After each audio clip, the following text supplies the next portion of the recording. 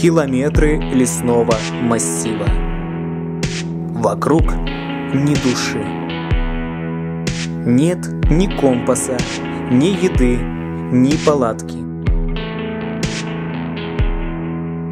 Совершенно один в лесу.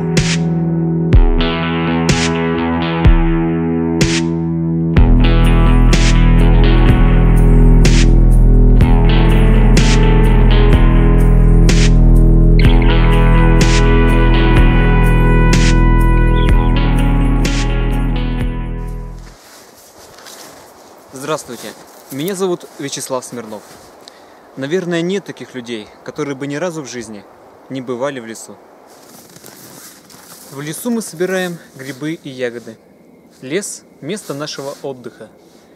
Ходим в походы, на турслеты, мы тоже в лес. Но, к сожалению, не все знают, как правильно ориентироваться в лесу, что с собой нужно брать, как вести себя в чрезвычайной ситуации, если вдруг вы поняли, что заблудились, и как превратить время своего пребывания в лесу не в борьбу за жизнь, а просто в приятное времяпрепровождение. Ежегодно в России пропадает около 100 тысяч человек. Только представьте, насколько это большая цифра.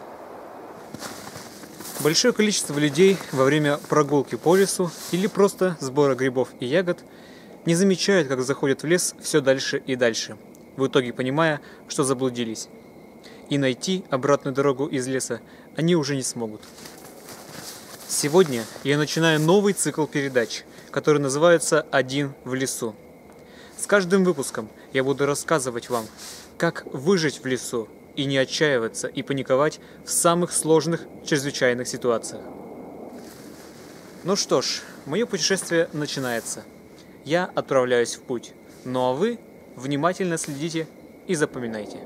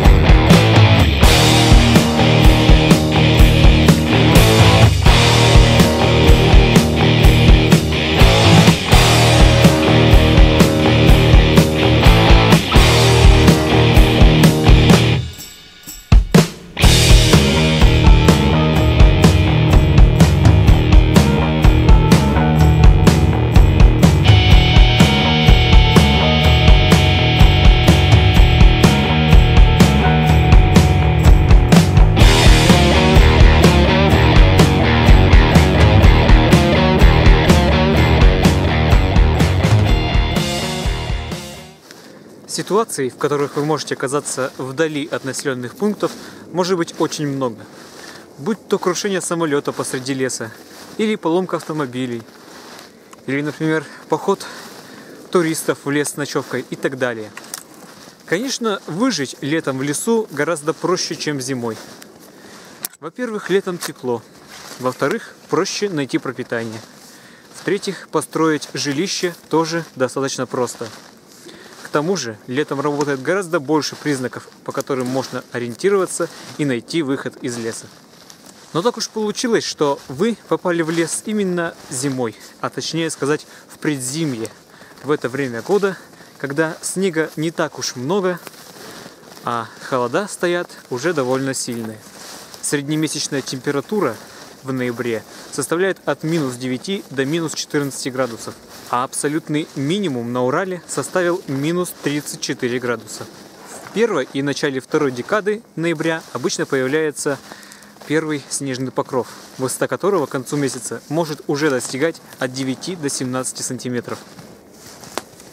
Итак, сегодня я расскажу вам, как защититься от холода в это время и найти выход из зимнего леса.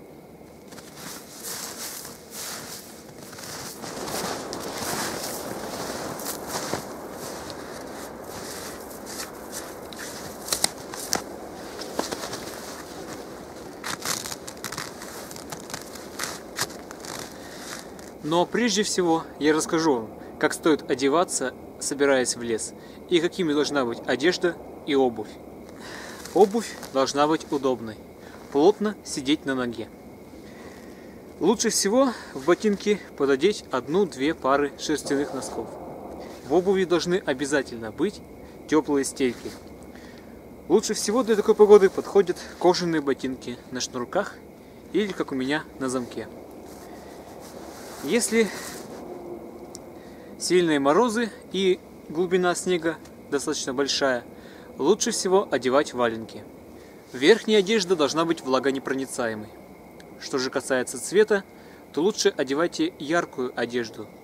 И будет лучше, если она будет отличаться от цвета окружающего вас ландшафта.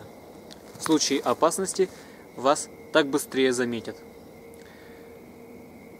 Шапка должна плотно закрывать лоб и уши. Лучше, если она будет вязаная. Для рук подойдут ходовые рукавицы или обыкновенные перчатки. Попав в экстремальную ситуацию, старайтесь ни в коем случае не намочить свою одежду. Итак, идете вы уже давно, а окружающий вас пейзаж не меняется.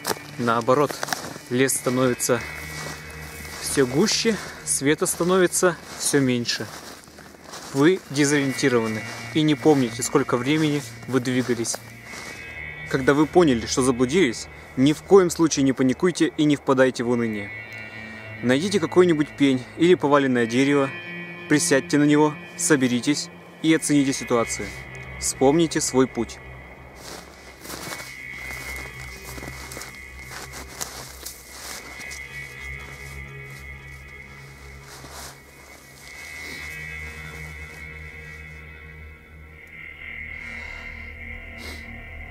Так, помню, как я заходил в лес. Там были отдельно стоящие деревья, по-моему, сосны вместе с березами. Помню, шел по просеке. Потом сосновый лес, все гуще и гуще, гуще и гуще. Я ничего не помню нужно как-то ориентироваться.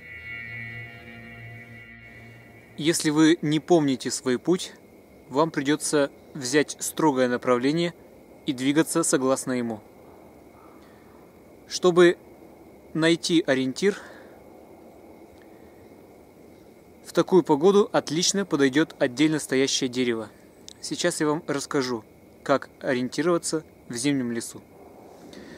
Вот отличный ориентир – это одинокое стоящее дерево и укажет нам дорогу. Смотрите, наиболее интенсивно мох растет на дереве с северной стороны.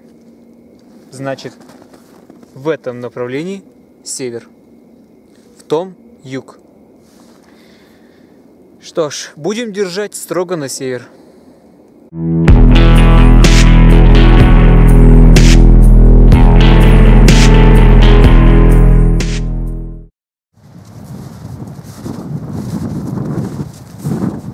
Если нет никакой возможности развести огонь, вам нужно будет соблюдать несколько важных правил.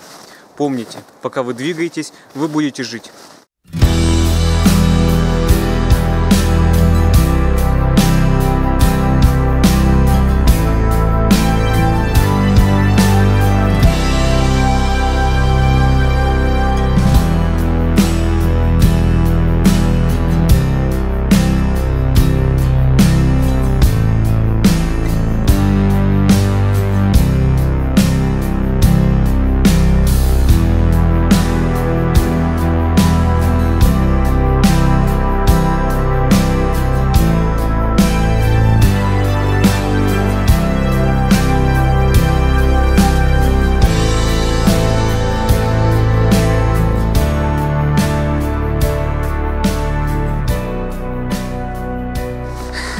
Любое тело вырабатывает достаточно энергии, чтобы выжить при любом морозе. Вам нужно будет двигаться, иногда останавливаясь, чтобы сделать несколько приседаний. При этом вы будете тратить много калорий. Наденьте на себя все, что сможете найти. Плотно застегнитесь, замотайте голову и шею. Когда вы идете, старайтесь запомнить заметные предметы. Развилки троп, перекрестки дорог, засечки на деревьях, характерные особенности рельефа. Старайтесь дышать носом. В пути не ешьте холодный снег. Лучше придумайте, как растопить его. Сегодня я с собой взял бутылку. Небольшую, пол-литровую. Если у вас нет с собой ни фляжки и ни бутылки, то вполне вероятно найти их в лесу. Сожалению, сейчас такая ситуация, что в лес выбрасывают очень много мусора. Итак, у вас есть пол-литровая бутылка. Наполните эту бутылку до краев снегом. Сейчас я это сделаю. Теперь закрываем крышку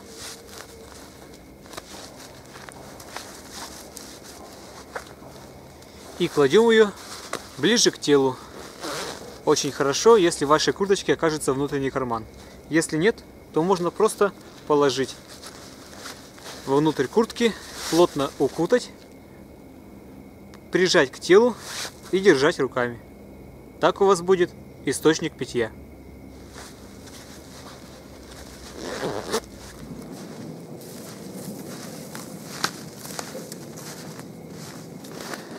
Почувствовав, что вспотели, уменьшите скорость движения. Ненадолго остановитесь и осмотритесь. Если у вас замерзли руки, можете погреть их на животе. Если наступила ночь, не останавливайтесь на ночлег зимой на морозе без огня. Вам нужно продолжать идти. Если вы выбились из сил, не старайтесь ползти. Так вы можете потерять ноги. Чтобы вам не было скучно, вспомните какую-нибудь бодрую, веселую песню и негромко напевайте ее. Помните, человек в состоянии непрерывно двигаться 20 часов. Если средняя скорость человека равна 5 км в час, то за 20 часов вы пройдете 100 километров. В этом случае шанс выйти к населенному пункту приравнивается к 100%.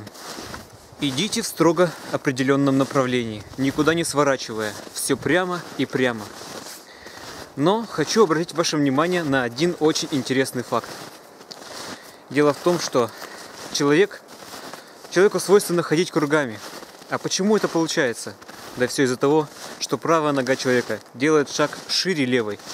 И поэтому со временем получается круг. Чтобы не попасть на удочку и не сделать такую ошибку, старайтесь делать засечки и создавать ориентиры. А лучше всего привязать к себе веревку или что-то наподобие ее. И так вы увидите, делаете ли вы круг со временем или нет. Ориентируйтесь по следам животных. Большинство из них ходит исключительно по тропам.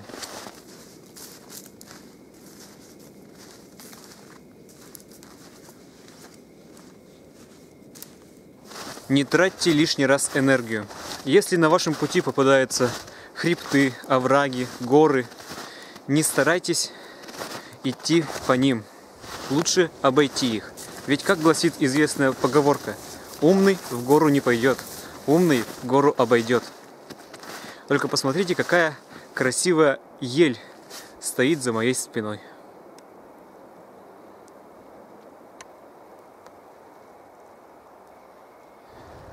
Периодически останавливайтесь и прислушивайтесь к звукам. Они помогут вам сориентироваться. Шум поезда слышен за 10 километров.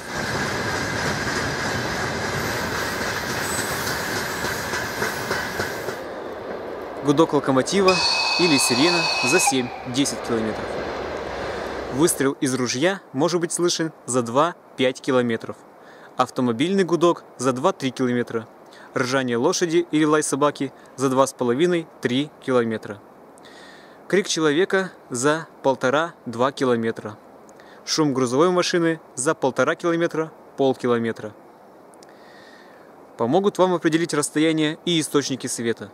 Помните, Ночью свет от костра может быть виден на расстоянии до 8 километров, а свет карманного фонарика до полутора километров. Если вы нашли широкую тропу, не сходите на узкие тропинки, даже если вам кажется, что они сократят ваш путь. Но если вдруг вы сбились с пути, выйдите по своим следам обратно и проанализируйте свой путь.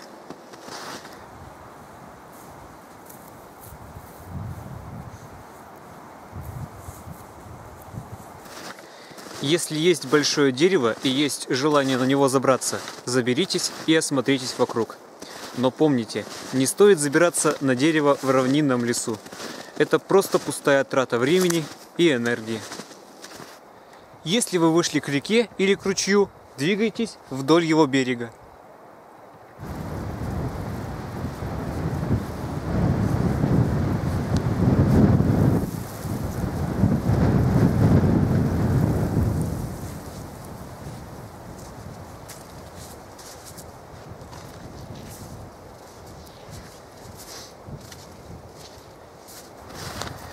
Если вы увидите просвет, двигайтесь в этом направлении. Это могут быть просеки или линии электропередач. Они и помогут вам выйти к населенному пункту. Похоже, я нашел сегодня выход из леса. Это действительно линии электропередач. И ведут они действительно к населенному пункту.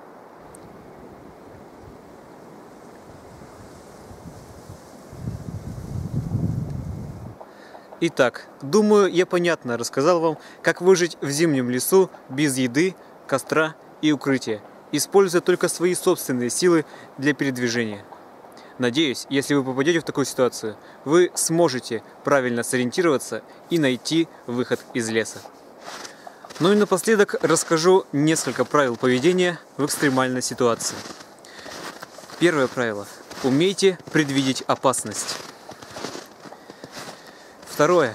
Умейте думать и придумывать. Третье. Будьте самостоятельными.